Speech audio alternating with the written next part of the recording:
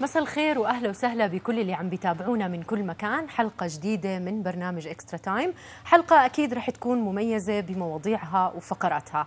رح نستكمل في حلقة اليوم الحديث عن ملخص دوري المحترفين لموسم 2015 و2016 وضيفنا هو زميلنا ومحلل رؤيا الرياضي محمد حسيبة. مساء الخير. مساء النور. كيفك محمد؟ تمام الحمد جاي. مبسوط اليوم.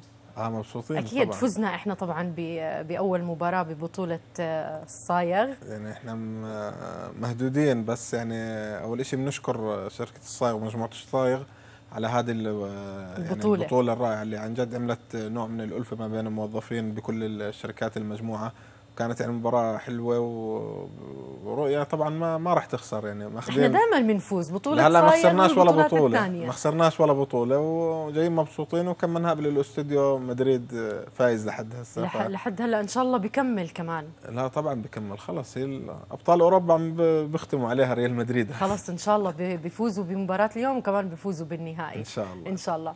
اذا قبل ما نبلش حديثنا آه، بحلقة اليوم خلونا نشوف مع بعض سؤال شارك لحلقتنا لليله واللي أكيد بإمكانكم التصويت عليه عبر تطبيق رؤيا سؤال شارك الخاص ببرنامج Extra Time سؤالنا بيقول من يستحق لقب أفضل لاعب في الدوري؟ الخيار الأول أيمن أبو فارس الخيار الثاني محمود مرضي والخيار الثالث شريف النويشة. طبعا تصويتكم بيهمنا ورأيكم أكيد بيهمنا لنعرف ونشوف مين أفضل لاعب في دوري المحترفين لهذا الموسم؟ حسيبة أنت برأيك مين كان أفضل أو من يستحق لقب أفضل لاعب في دوري المحترفين؟ يعني شوف أما في لاعبين كثار برزوا في هذا الموسم الصعب بجوز ما بتقدر تحكم على مستوى اللاعب من كثر نحكي المنعطفات اللي صارت في دوري المحترفين والمشاكل اللي صارت سواء مشاكل مادية أو مشاكل فنية أو تنقلات بالأجهزة التدريبية. ولكن من ضمن الخيارات الثلاثة هذول اللي محطوطين بسؤال اليوم بجوز شريف النواشي يعد أفضلهم لأنه مهاجم بجوز كان له بصمة إنه سجل أهداف حاسمة في مباريات الهبوط لفريق ذات رأس وسا- وساهم بتثبيت فريقه أما بشكل عام على مستوى دوري المحترفين فأنا برشح اللاعب بهاء عبد الرحمن لاعب نعم. لاعب فريق النادي الفيصلي لسبب إنه بهاء عبد الرحمن آه، كان يشيل مباريات لحاله في بعض الأحيان امام الفيصل رغم المشاكل رغم الغضب الجماهيري لاعب تميز بتسجيل أهداف بصناعة الأهداف وأيضا كان من أكثر اللاعبين اللي عندهم حرقة على خسارة الفريق. نعم. فهذا اللاعب اجتمعت فيه أكثر من هاي المواصفات فأنا برشحه إنه يكون هو أفضل لاعب في دوري المحترفين. نعم. اذا رح نبلش موضوع حلقتنا لليوم. إحنا كنا طبعا بحلقة امبارح بلشنا استعراض مشوار الأندية خلال موسم دوري المحترفين واليوم رح نكمل مع الفرق الستة اللي ضايلة. بنبلش بتقرير عن الحسين إربد وبنرجع نكمل حديثنا.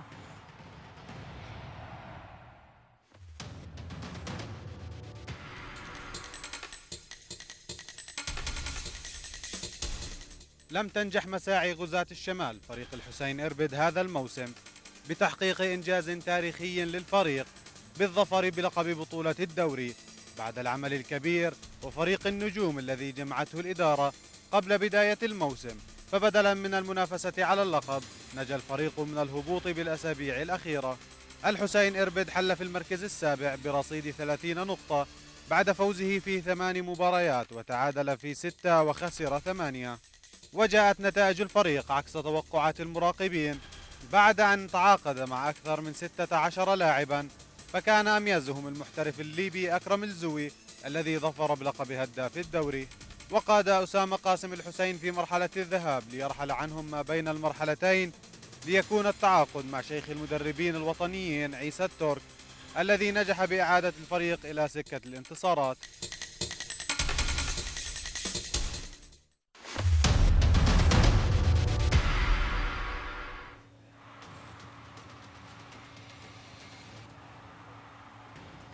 إذا محمد بدايتنا رح تكون مع نادي الحسين إربد. بشكل عام كيف بتشوف مشوار الفريق خلال موسم دوري المحترفين؟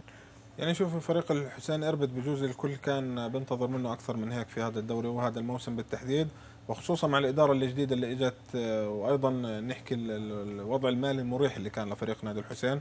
والتعاقدات اللي تمت قبل بداية الموسم أنت عم تحكي عن 16 لاعب تم التعاقد معهم فريق الحسين إربد عم تحكي عن فريق كامل كله تغير من من من أساسه من الموسم الماضي إلى الموسم الحالي. بجوز بعض الجماهير أطلقت عليه فريق النجوم لقب فريق النجوم كانت تعاقدات بمبالغ عالية. عم تحكي عن تعاقدات 45 ألف فما فوق كانت نعم. اللاعبين اللي تم التعاقد معهم. ولكن ما كان في هناك نتائج كان في هناك خروج من بطولة الكأس كان في هناك تعثر على مستوى بطولة الدوري. أيضا الحسين انجرف وراء قضية تغيير المدربين والأجهزة الفنية في فريق الحسين. إحنا بنحكي عن ثلاث مدربين تولوا الفريق أسامة قاسم وأسامة ذيابات.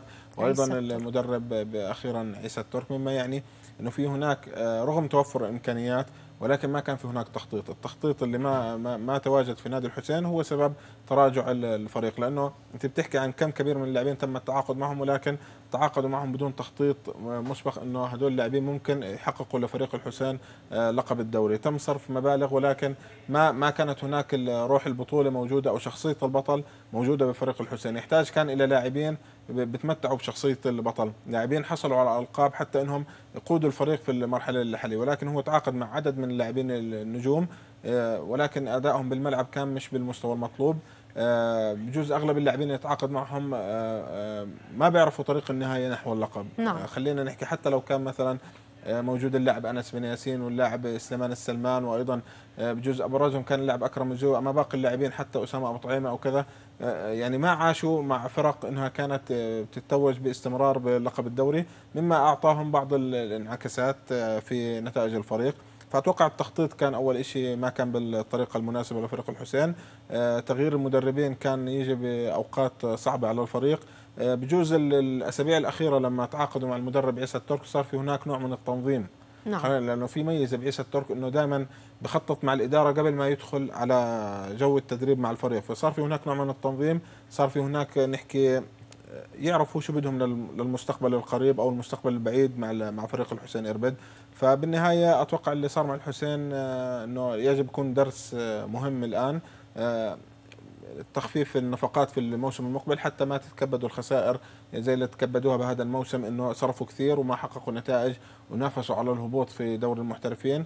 وأيضا طريقة انتقاء اللاعبين ما تكون طريقة عشوائية يعني أغلب الأندية عندنا الإدارات هي بتحدد المحترفين أو بتحدد نعم. اللاعبين اللي بتتعاقد معهم قبل ما تجيب المدرب. الآن أنت عندك مدرب آه، من من أميز المدربين الوطنيين اللي هو عيسى الترك. يجب أنه هو اللي يختار المراكز اللي بده إياها ويحدد الأهداف لأنه عيسى الترك لما اشتغل مع الجزيرة أربع سنوات كان يحدد اللاعبين وصل للمركز الثاني مع فريق الجزيرة الموسم الماضي وحقق بلش يطلع السلم بشكل تدريجي. أما الآن هو بإمكانه يتعاقد مع أي لاعب خصوصا إنه الوفر المالي موجود لدى نادي الحسين. أتوقع إنه الموسم المقبل إذا ضل عيسى وإذا خططوا بالشكل المضبوط ممكن يحققوا أول لقب يعني لهم مع الإدارة الجديدة هاي. نعم إن شاء الله بيقدروا يستفيدوا من الأخطاء اللي ارتكبوها ويتعلموا من الأمور يمكن اللي اللي صارت لحتى إنهم يضبطوا أمورهم بالموسم القادم. يعني هو بجوز النقطة الرئيسية بتبين إنه الإدارة بدها تشتغل بالشكل للموسم المقبل. إنه يجب يحافظوا على هداف الدوري أكرم الزوي. إذا نعم. تخلوا عن أكرم الزوي أتوقع إنه الكرة الأردنية كل بيعرف إنها فيها شح بالهدافين وبالأهداف. فيجب يحافظوا على هذا اللاعب حتى إنهم يبلشوا بالموسم المقبل بشكل جيد وشكل ممتاز. نعم إن شاء الله بنشوف تفكير مستقبلي. دائما مش بس مع الحسين إربد مع كل الأندية. اذا من الحسين إربد رح ننتقل لنادي البقعة بالتقرير التالي.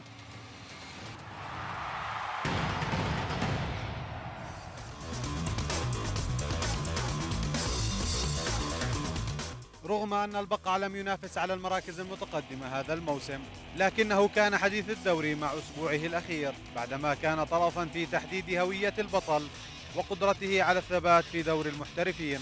البقع حل في المركز الثامن برصيد 28 نقطة حيث فاز في سبع مباريات وتعادل في سبع وخسر ثمانية. ونجح البقعة من الإفلات من شبح الهبوط في الجولة الأخيرة بعد أن تدارك نفسه في مرحلة الإياب.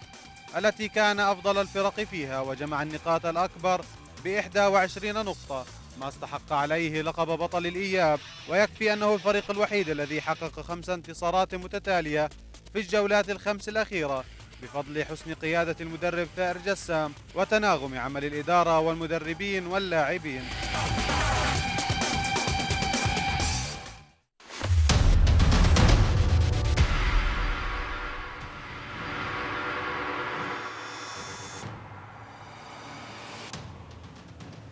إذا هلا فريق البقعة نقدر نقول إنه خلال هذا الموسم ظهر فريق البقعة بشكلين مختلفين. بمرحلة الذهاب كان الفريق ضعيف وتذيل الترتيب وبمرحلة الإياب صار بطل المرحلة. وبنقدر نقول إنه كان الحصان الأسود بكل معنى الكلمة.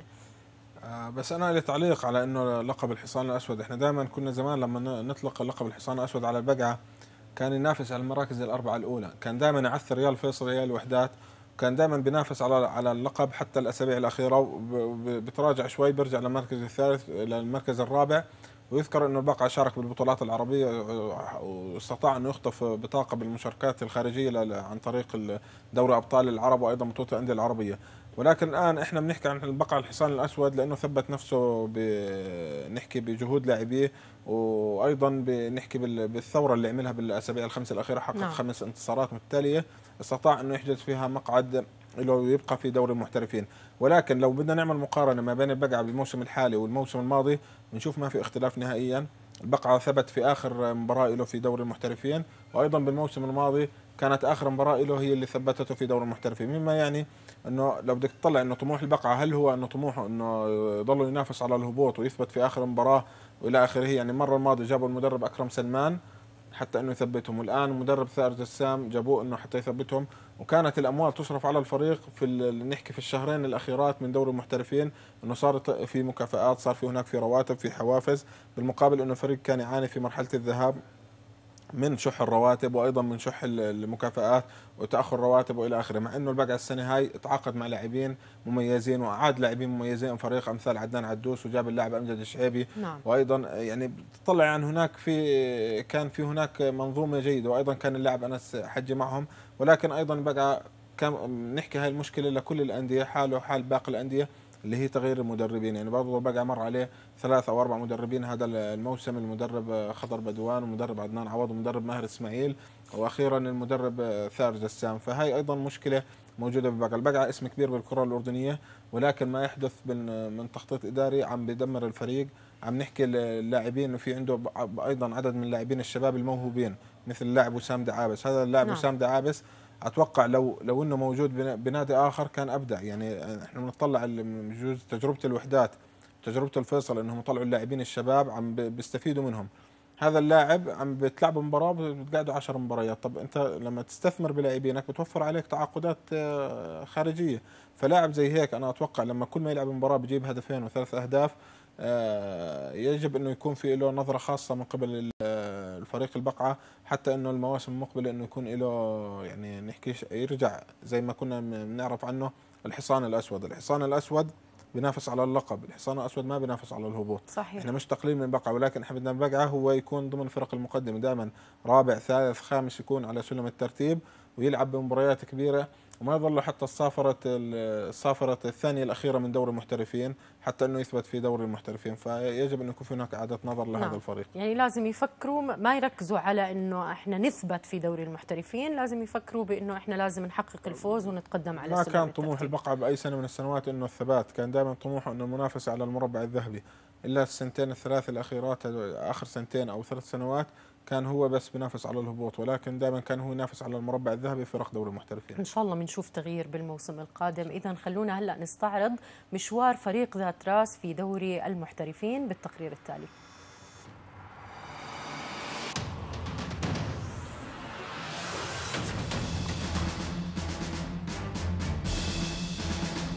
العودة في الأسابيع الأخيرة كانت عنوان مشاركة فريق ذات راس في الدوري هذا الموسم.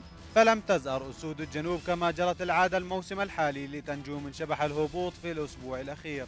وحل الفريق في المركز التاسع بفارق الأهداف وبرصيد 28 نقطة حيث فاز في سبع مباريات وتعادل في سبع وخسر في ثمان مباريات. الفريق احتفظ بمكانه بين المحترفين في الجولة الأخيرة بعد أن كان أحد الفرق المهددة بالهبوط وتقدم خطوة إيابا عما كان عليه الحال في مرحلة الذهاب. ويعد ثاني أفضل الفرق في مرحلة الإياب. ويلاحظ أن ذات رأس حصل على نقطتين في أول ثلاث مباريات وبعد تحقيقه فوزين متتاليين بعدها دخل في مرحلة تراجع صعبة. ومر على الفريق الجنوبي ثلاثة مدربين خلال الموسم وكانت البداية مع هيثم شبول ثم السوري عماد خان كان قبل أن يستقر الحال على التونسي ماهر زديري.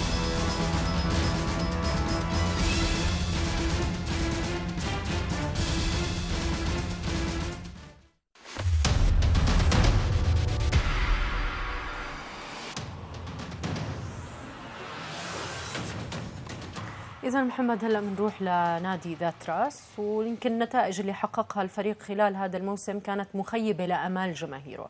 شو السبب برأيك؟ يمكن المشاكل اللي بتواجهها كل الأندية هي نفسها تغيير المدربين الأزمات المالية. بس ذات رأس شو كان السبب الرئيسي خلف آه، نتائجه هاي؟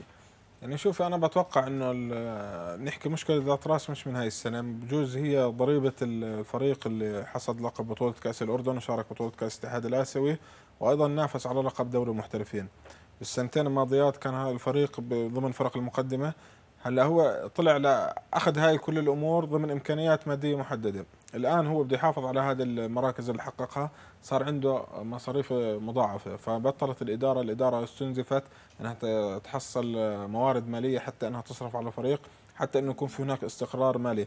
الاستقرار المالي دائما بأي نادي بيجلب الاستقرار الفني بيجلب الاستقرار آه، لدى اللاعبين. ولكن صار في هناك مشاكل مالية أعطت مشاكل إدارية ثم أثرت على الفريق باعتقادي إنه الاهتمام دائما إدارة ذات رأس بجوز لو بتسمع على تعاقدات المدربين عم تتعاقد مع مدربين مميزين إنهم يكونوا يقودوا الفريق في المرحلة اللي بيلعب فيها الفريق نعم. ولكن ما بيكون هناك توفيق لأنه بيكون في هناك مشاكل مالية مع اللاعبين وجوز يعني أكبر دليل إنه بعد نهاية مباراة ذات رأس مع كفر سوم ثاني يوم توجه خمس لاعبين من فريق ذات راس إلى اتحاد كرة القدم وقدموا شكوى رسمية على الفريق بطلب مستحقاتهم المالية، هذول الخمس لاعبين هم من الأعمدة الرئيسية. أبرزهم آه حارس المرمى معتز ياسين وأحمد عبد الحليم وحاتم عقل وأيضا حازم جودة، هذول الأعمدة الرئيسية بالفريق، مما يعني إنهم هذول مش راح يكونوا متواجدين مع الفريق في الموسم المقبل.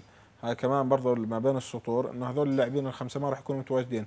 مما يعني إنه في أيضا راح تكون في مشكلة في الموسم المقبل مع الفريق في تأمين لاعبين مميزين على سوية عالية مثل هذول اللاعبين. آه، فيجب انه يكون في هناك إعادة نظر. بجوز الفترة التوقف الطويله اللي ممكن تصير الآن ما بين الموسم والموسم انه ذات رأس يستفيد منها إنه يعيد لملمة أوراقه. لأنه دائما كنا تعودنا المواسم الأخيرة كان فتره التوقف تكون مدتها شهر أقل من شهر حتى انه نعم. يرجع النشاط. ولكن إحنا اليوم بجوز إحنا مرشحين إنه نستنى ثلاث شهور أو أربع شهور. هاي لهاي الفترة ممكن إنها تفيد ذات راس إنه يعيد لملمه أوراقه يعيد ترتيب أوراقه يستقطب لاعبين يستقطب مدربين ويستقطب رعاة أيضا إنهم للفريق. ففريق ذات رأس إحنا انبسطنا إنه فريق طلع على المنافسة وعلى الألقاب. وخصوصا إنه بيمثل أندية الجنوب. دائما كانت انديه المحترفين كلها من الوسط والشمال. هذا أول فريق بيمثل أندية الجنوب. إنه إذا هبط لدور المحت... لدور الدرجة الأولى أتوقع إنه راح ترجع المعادلة كما كانت سابقا. إنه أندية الجنوب إنها ما لها ما, ما لها مكان بين أندية المحترفين. وهذا شيء بجوز بفقد كرة القدم الأردنية نوع من نحكي الجمالية. وخصوصا إنه نعم. أثبت انه فريق عنيد وشرس وحقق ألقاب وشارك اسيوي أيضا فريق ذات رأس. فهي المسيرة حرام إنها تنتهي بفتره قصيرة إنه بتحكي إنها ست سنوات هو وصل لهي المرحلة في دوري المحترفين ووصل لبطوله كأس الاتحاد الآسيوي تنتهي بهذه المرحلة. يجب أيضا إنه إعادة دراسه بجوز كل الرسائل موجهة لإدارات الأندية اللي هي مرحلة التخطيط مرحلة نعم. إنه إيش معك؟ اصرف. صحيح. ما ما ما تحط على حالك ديون ما تعمل على حالك عبء حتى أنك تكون بهذا الموقف في نهاية الموسم بجوز أنا بحكي لك الفرق اللي ثبتت الفرق اللي ثبتت الآن في دوري المحترفين في آخر مباراة اللعيبة اللي بدها تثبت مش الإدارات ولا الجماهير ولا آخره لأنه اللعيبة بتحس حالها إنها إذا هبطت لدوري الدرجة الأولى راح ينقص سعرها راح يصير في هناك نوع من نحكي آه، الخذلان لدى, لدى نفسها يعني جوا اللاعبين إنه إحنا يعني اللاعب هو اللي بتأثر سلبيا أنا من جميع أنا هبطت إلى دوري الدرجة الأولى بصير شو موقفه أمام الجماهير أمام يعني الكرة الأردنية. فأتوقع إنه اللاعبين كانت هي اللي تلعب مشان اسمها قبل ما انه إنه النادي يثبت في دوري المحترفين. نعم. اذا من الكرة الأردنية بنروح على الكرة الأوروبية وتحديدا الدوري الإسباني. وخلونا نشوف زميلنا حسام نصار شو قصة الهدف وأي نجم محضر لنا اليوم.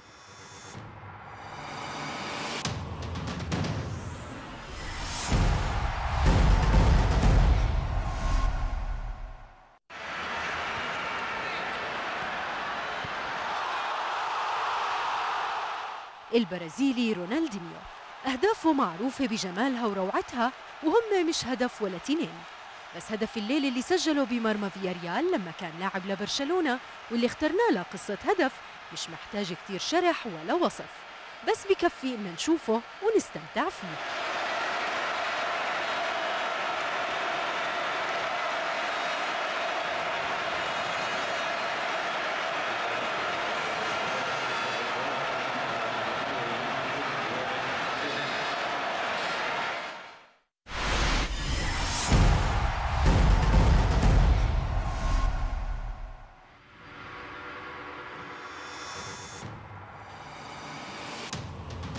يعني رونالدينيو ساحر بكل أهدافه. مش عارف شو ماله حسام يعني اختار هذا الجول اليوم بالذات لبرشلونة. يعني مبسوطين على مدريد. على ريال مدريد حاطط لنا برشلونة. يا حسام شو مالك اليوم؟ يعني نخفف عليهم معلش. يعني ما هو رونالدينو لعيب بس فيش لعيب يعني بالطريقة والسحر البرازيلي. دائما النكهة البرازيلية لها مختلفة. لها شيء خاص دائما. اللي هي السحر دائما. بسموها لا فيها قوة ولا فيها نحكي بس دائما بتسحر العين وبتخلي البصر يتابع إنه كيف هاي الحركة صارت. وأهدافها خرافية. أهدافها خرافية. فرونالدينو بجوز هذا جول من جوالو اللي دائما بجوز اللي بتابع رونالدينو على اليوتيوب وعلى يعني على الإنترنت بشوف شغلات بجوز إعجاز لهذا اللاعب غريبة. غريبة فعلا. ف... يمكن هذا هو أساس تميزه إنه هو غريب وله حركات شوي غير عن بقيه اللعيبة. البرازيليين دائما هيك غريبين. ما بتحذر وين بمرروا ولا وين بيشوتوا ولا يعني بيمتعونا دائما لما نتفرج عليهم أكيد هم من أفضل اللاعبين وبما إننا بنحكي عن أفضل اللاعبين رح نروح لنستعرض النسب الأولية لسؤال شارك وسؤالنا كان بيقول من يستحق لقب أفضل لاعب في الدوري؟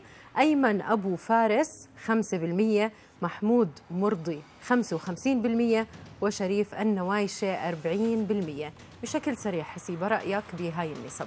يعني شريف النوايشة ومحمود مرضي كانوا مميزين سواء على صعيد خصوصا محمود مرضي المنتخب الأولمبي والمنتخب الأول مع فريقه. فأتوقع أنه أدى أداء مميز اللاعب فريق الأهلي. نعم. إذا هلا رح نطلع فاصل صغير ونرجع لنكمل استعراضنا لبقية أندية المحترفين لهذا الموسم. خليكم معنا.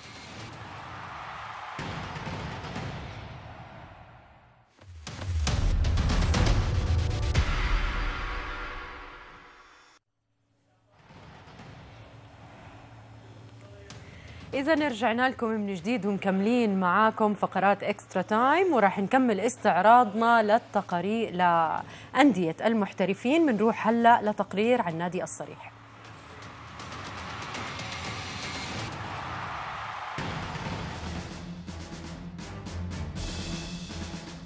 موسم صعب مر به الصريح بسبب تقلب وتذبذب النتائج التي جعلته ضمن المهددين بالهبوط حتى الأسابيع الأخيرة من دوري المحترفين. الصريح حل في المركز العاشر برصيد 25 نقطة حيث فاز في خمس مباريات وتعادل في عشرة وخسر في سبع مباريات. الصريح تراجع خمسة مراكز بين مرحلتي الذهاب والإياب نتيجة عدم حصوله سوى على عشر نقاط وإهدار 23 نقطة إيابا. مما جعله من الفرق المهددة بالهبوط قبل أن ينفذ بجلده مستفيدا من خسارة كفرسوم أمام ذات راس في حين جمع 15 نقطة ذهابا.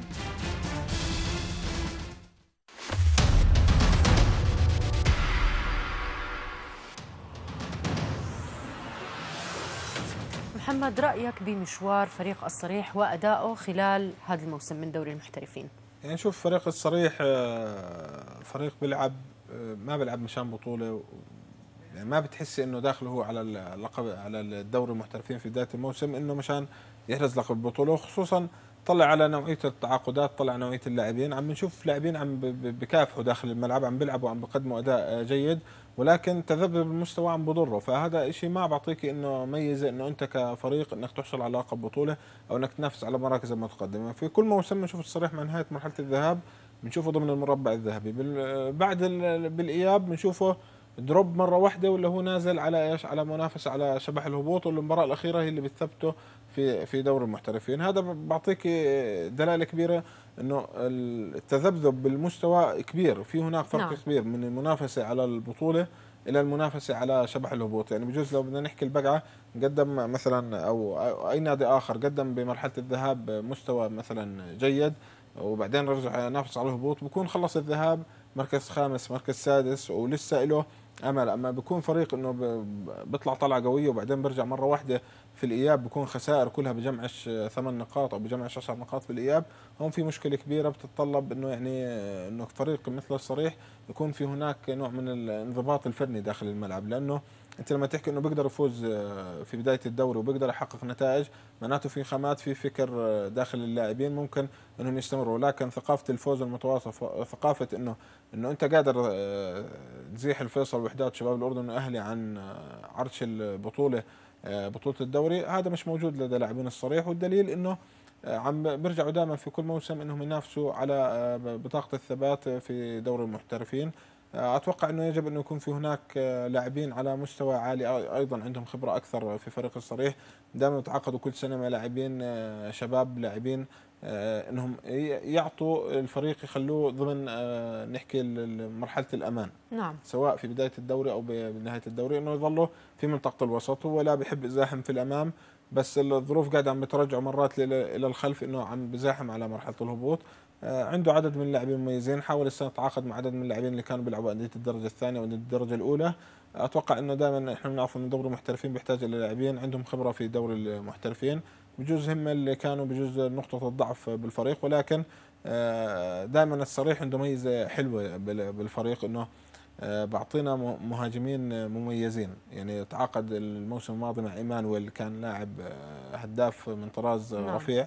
والسنة آه، تعاقد مع اللاعب أيمن أبو فارس اللي كان يلعب بنادي شباب الحسين فأتوقع إنه عنده عنده نظرة ثاقبة للمهاجمين يجب إنه بجوز هاي ميزة كويسة بنادي الصريح إنه المهاجمين اللي عنده دائما بيكونوا على سوية عالية وبكون لهم بيستطيعوا يعملوا الفارق مع الفريق بأي مباراة من مباريات بطولة الدوري. نعم، اذا من الصريح بنروح لكفر سوم وتقرير عن مشوار الفريق.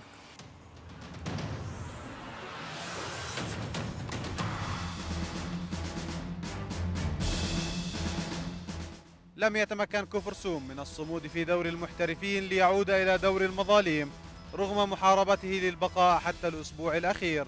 ولكنه فشل في اختبار الحسم النهائي أمام ذات راس. كفر سوم حل في المركز الحادي عشر وهبط بعد أن جمع 24 نقطة حيث فاز في خمس مباريات وتعادل في تسع وخسر في ثمان مباريات. وعانى الفريق خلال الموسم الماضي من مشاكل مالية وإدارية أثرت على شكل الفريق وأيضا مشكلة تغيير المدربين التي ضربت جميع الأندية. ويسعى كفرسوم للعودة من جديد إلى دور الأضواء في الموسم المقبل والعمل بشكل أكبر مما كان بالسابق.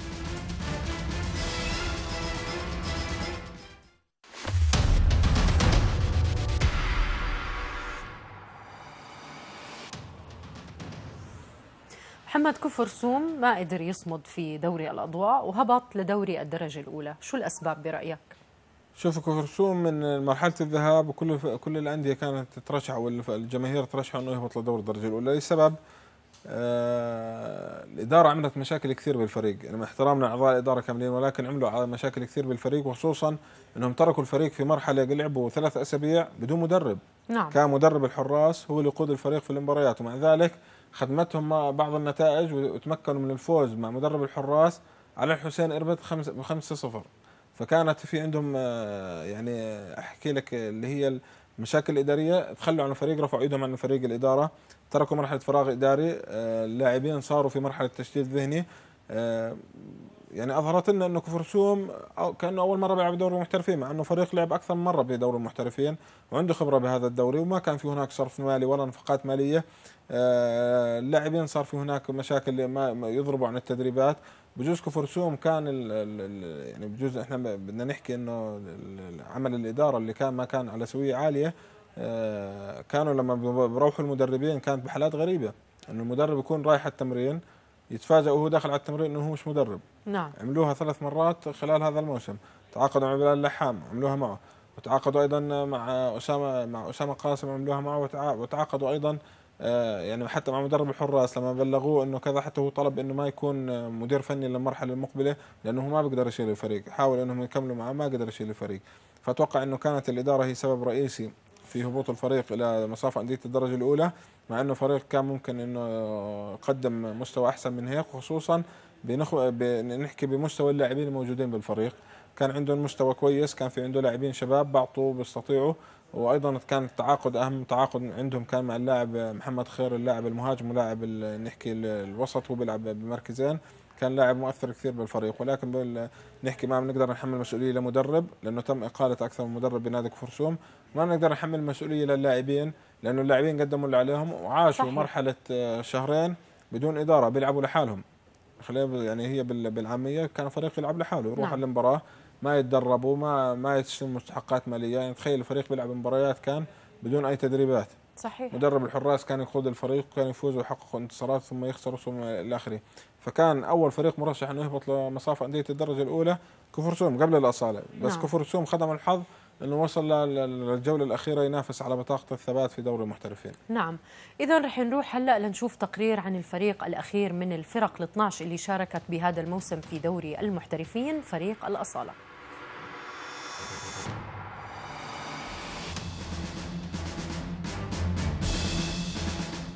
الوافد الجديد فريق الأصالة رفعت له القبعات على مستواه الفني في أول مشاركة له بدور المحترفين. ولكنه كان أول المودعين إلى دور المظالم. وحل الفريق في المركز الثاني عشر والأخير بعد أن جمع 12 نقطة وأضاع 54 نقطة بعد أن فاز في مباراتين فقط وتعادل في ستة وخسر في 14 مباراة. وكان الأصالة حديث الدوري بأغلب أسابيعه بعد أن أعلن انسحابه احتجاجا على هدف الجزيرة في مرماه ليكون مصير الدوري مهددا إلا أنه عاد وليعود الأصالة إلى الواجهة بعد قضيته مع الفيصلي وقرار اتحاد الكرة بتخسيره جراء إشراكه لاعبا مخالف. إذا الأصالة استفاد دروسا كثيرة من مشاركته الأولى في دوري المحترفين وهي بالتأكيد ستكون السند له في حال عودته بالسنوات المقبلة.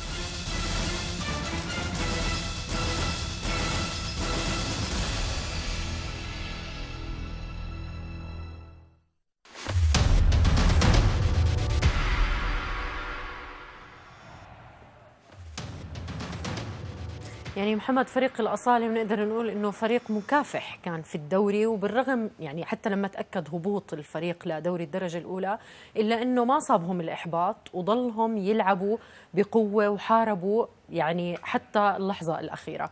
سؤالنا مش كيف كان مشوار الأصالة في دوري المحترفين؟ هل يستحق الأصالة الهبوط لدوري الدرجة الأولى؟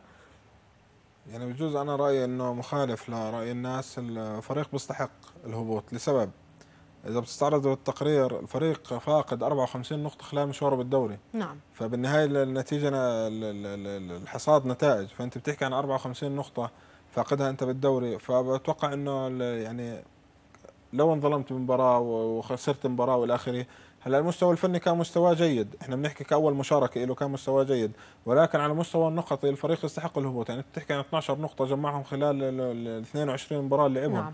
بمعنى لو بدك تعطيه بكل مباراة نقطة للفريق ما بج... ما ما جمع ال 22 يعني بمعدل نصف نقطة في كل مباراة حاصد الفريق. بس على المستوى اللي المستوى اللي قدمه دا داخل المستطيل الأخضر الفريق يرفع له القبعات. يعني بجوز إنه آه، قارع الفرق الكبيرة وقارع كل هاي الفرق. بس خلينا نحكي هون تتوقف جزئية الفريق اللي اللي بيقدر يحافظ على الفوز والفريق اللي ما بيقدر يحافظ على الفوز يعني في الأصالة كان يتقدم بكثير مباريات بس ما يقدر يحافظ على الفوز نعم. كان يخسر كان يرجع يتلقى أهداف فهاي النقطة مش إنها نقطة ضعف بالأصالة ولكن هي نقطة عدم خبرة ل- ل- صحيح. يعني لدى الفريق وخصوصا إنه أول موسم بيلعب آه، فيه في دوري المحترفين حاول إنه يلعب هذا الموسم بالعناصر اللي كانت معه طلعت معاه بأغلبها من الدرجة الأولى فلما تحكي إنه الفريق إنه هو أنا بقول لك أنا بدي أبني فريق ما بدي أنا أجيب لاعبين كثير من برا مع إنه تعاقد مع عدد محترفين. ولكن الميزة اللي كانت لدى الأصالة إنه أبرز لاعبينه اللي لعبوا معاه بدوري الدرجة الأولى حاول إنه يمشي فيهم آه، أبقى على أبقى على عدد من المدربين اللي كانوا معاه بدوري الدرجة الأولى. دائما نعرف إحنا المدرب الأندية لما تصعد لدوري المحترفين بيصيروا بدوروا على مدربين آه، طاقم كامل إنه يكون متواجدين. ولكن الأصالة كان له نكهة خاصة بالدوري خلينا نحكي. كان آه، رغم المشاكل والصدمات اللي تلقاها مع إنه بس ما كان له أي تصرفات نحكي عدوانية إنه يخرب الدوري. هو كان يدافع عن حقه يوم انسحابه من آه، أمام الجزيرة. نعم. لما انسحب من بطولة الدوري آه، إنه إنه هو تلقى العديد من من الظلم خلال مرحلة الذهاب. بس ما كان يحكي إنه أنا فريق إنه أنا كنت بدي إنه يعني إنه في هناك مؤامرة إنه ما أثبت في دوري المحترفين عمل كل المجهود اللي عنده. بتوقع إنه الأصالة بالموسم المقبل يعود إلى دوري المحترفين وإحنا فعلا بجوز بنفتقد لفريق مقاتل بالشكل هذا نعم. ولكن على الصعيد النقطي هو ما حصل النقاط اللي واجبة له حتى انه يبقى في دوري المحترفين نعم إن شاء الله بصعد مرة أخرى وبيستفيد من خبرته خلال هذا الموسم لتحسين أدائه ونتائجه خلال الموسم بالتأكيد. الجاي إن شاء الله إذا خلونا هلأ نروح نشوف تقرير عن شذرات الموسم وبنرجع نكمل حديثنا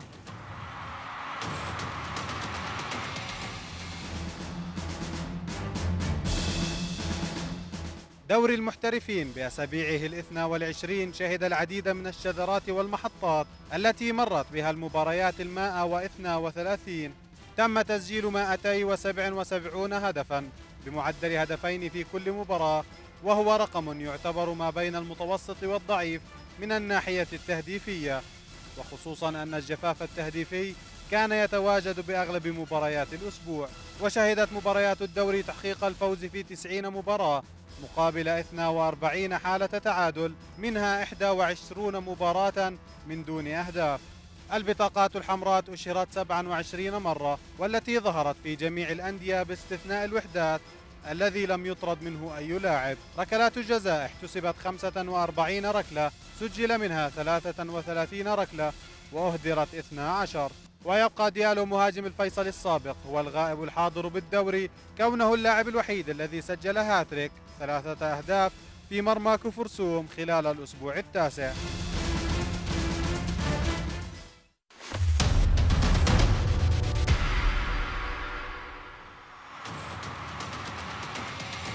محمد بشكل سريع تعليقك على أرقام الدوري. يعني إذا اللي بيسمع الأرقام هاي اللي صدرت عن الشذرات أرقام مزعجة بصراحة لل يعني للجمهور الأردني وخصوصا إنها ما بتدل على القوة على قوة الفرق. آه، كل النسب المئوية لو بتقسم الأرقام على نسب مئوية بتلاقيها إنه نسبة تسجيل الاهداف في المباراة واحد ونص بالمية بكل المباريات لو بدك تسمع كل الهاي بتلاقي إنه نسبة الطرد عندنا عالية جدا مرتفعة. تلاقي إنه نسبة إهدار ركلات الجزاء أيضا مرتفعة. مما يعني إنه في هناك آه، نحكي سوء بالأداء سوء بالأداء الفني. موسم كان صعب بجوز حتى بتطلع على المشاهد الملاعب. طلع ملعب أخضر وملعب أصفر وملعب نعم. آه، كانت هاي كلها مرت علينا خلال صحيح. الموسم الكروي. وأيضا كانت الميزة الأبرز إنه المدرجات فارغة. بدون حضور جماهيري إلا المباريات الأخيرة اللي كانت تحدد مصير بطل الدوري ومصير فريق الهابط. فكانت هاي كلها مشاهد مزعجة للجمهور الأردني. أيضا يجب هاي الآن الرسالة لاتحاد كرة القدم. يجب عليه إنه يعمل جردة حساب إنه يقوي بطولة الدوري لأنه بطولة الدوري هي اللي هي اللي بتجيب موارد مالية لاتحاد كرة صحيح. القدم. لأنه الدوري مسمى باسم آه، شركة إعلانية. وأيضا نحكي الجماهير التذاكر هي اللي بتشتري التذاكر. واللاعبين هم اللي هم اللي هم المنتج هم اللي بعطوا الأداء وهم اللي بعطوا نحكي الفرحة الكروية. فيجب اتحاد كرة القدم إنه يهتم بالدوري بشكل أكبر من من هيك في المواسم المقبلة حتى لا نخسر الأندية وما نخسر لاعبين وما نخسر متعة كرة القدم في الأردن. نعم، اذا من الدوري الأردني رح نروح لدوري أبطال أوروبا، بدنا نشوف طبعا تقرير إحنا عن مباراة آه، امبارح اللي كانت بين أتلتيكو وبايرن ميونخ، بس أول شيء طبعا حسيبه مبروك ريال مدريد تأهلوا للنهائي. لا هي أنت كنت إحنا في حلقة طلعنا فيها أنا وياك، أنت كنت آه، بتقول إنه رح رح يكون النهائي مدريدي أتلتيكو وريال. بالتأكيد بس آه، خلص ضامنينها إحنا على اللقب. ما أكيد. آه خلص. لازم نضمنها. يعني ال ال هيك مع أتلتيكو فبكفي إنه ضربوا مرة ومرتين وثلاث بس عند ريال مدريد بوقفوا. بيوقفوا خلص إن شاء الله. إن شاء الله اللقب مدريدي. خلونا نشوف تقرير مباراة امبارح.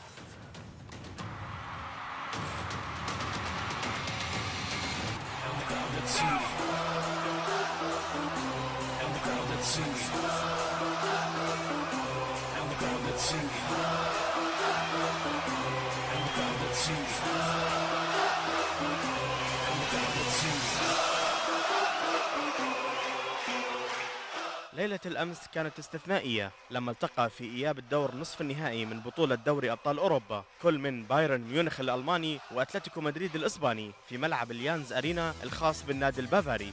نادي مشجعي بايرن ميونخ في الأردن. أقام تجمع بمناسبة هذا اللقاء. تجمع خلاله عشاق النادي الألماني بأجواء حماسية ومثيرة. آه، في عدد مشجعين كثير للبايرن وألمانيا.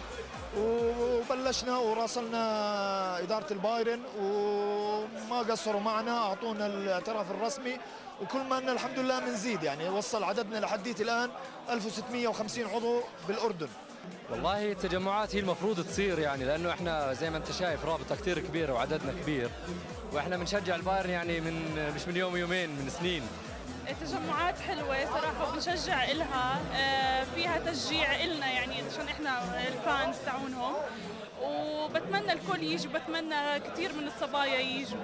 على الرابطه شغلها بعمان شيء بيرفع الرأس. كل مباراة تجمع بينزلوا على الفيسبوك بنشروا بالجرايد على على الإيميل على الموبايلات بيبعثوا مسجات.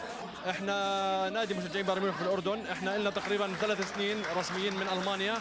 مثل ما انت شايف آه، العدد الحمد لله رب العالمين هائل جدا. إحنا هدفنا انه آه، نخلي كل مشجعين بايرن ميونخ في الأردن كافة في مكان واحد. وانت شايف اليانس ارينا عمان الحمد لله رب العالمين. بايرن ميونخ كان مطالب بالفوز بفارق هدفين لتعويض نتيجة الذهاب اللي خسرها 1-0 في ملعب الفيسنتي كالديرون. ووقع على هدف التقدم بالشوط الأول عبر لاعبه الإسباني تشافي ألونسو وتحصل بعدها على فرصة ذهبية للتعزيز لما انحسب له ركلة جزاء لكن مهاجم الألماني مولر أهدرها لتكون نقطة تحول في المباراة لما استطاع أتلتيكو مدريد تسجيل التعادل بالشوط الثاني عبر نجمه الفرنسي جريزمان. ليصعب من المهمة على الألمان اللي اكتفوا بتقليص الفارق بهدف ليفاندوفسكي اللي ما شفع لبايرن ميونخ بالتأهل لتروح البطاقة للرجال دييغو سيميوني في ليلة صعبة على عشاق النادي البافاري.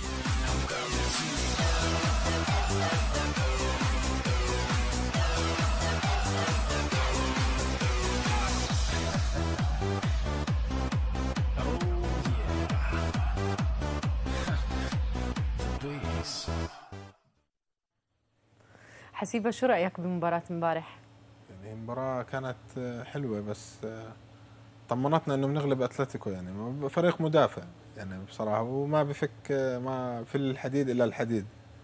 فريال مدريد راح يكون إن شاء الله أموره تمام. إن شاء الله يعني هي النهائي. هي بجوز النكسة كانت لجوارديولا بالمباراة إنه كان هو صحيح. لأنه بيحكي إنه يعني هو صرح قبل المباراة اقتلوني إذا لم أفوز على أتلتيكو مدريد. كانت هي هاي بجوز كل الناس بتفرجوا بده يعرفوا شو مصير المدرب بهاي المباراة؟ نعم إن شاء الله مصيره منيح. لا هو خلص المهم إحنا نفوز.